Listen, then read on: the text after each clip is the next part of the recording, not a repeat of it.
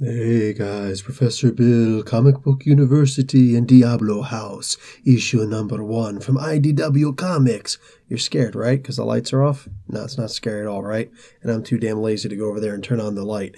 Yeah, well, just like not having the lights on isn't scary, uh, ergo, neither is this comic particularly scary. Um, there's, you know, the, the, the threat, the promise, the teasing of horror, but I got nothing. I literally, I got nothing out of this comic.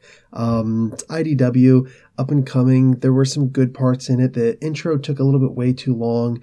It's funny they're advertising a Tales from the Dark Side comic uh, in this comic because uh, the entire time I'm reading this, I'm thinking to myself, this is like you know Tales from the Dark Side. You got a really long crypt keeper thing coming on, and and just there's nothing. And finally, we get to the story, and it's very convoluted. Uh, you get it by the end. You get this story, and you, you get certain ideas, like something said in the comic that makes you say, "Oh, wait a second.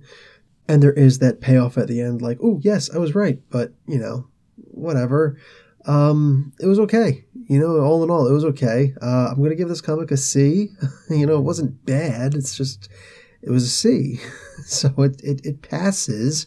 It's up to you if you actually want to get it. I don't think it was anything special. Again, also something strange that might actually get some people to buy the comic is that there was nudity in it. And I don't know. I I think all the IDW comics that had nudity in it have always slipped me by. You know what I'm saying? I've, I've never seen any naked Transformers, never seen any naked G.I. Joes, although, you know, my childhood probably wouldn't mind that. But, um, you know, like Scarlett, Lady Jaye, and all them, but you know, whatever. Like, it's just I don't know. It didn't really add anything to the comic. It wasn't even like particularly, yeah, hey, cool. No, it was like, eh. So whatever. If you're interested, get it. If not, whatever.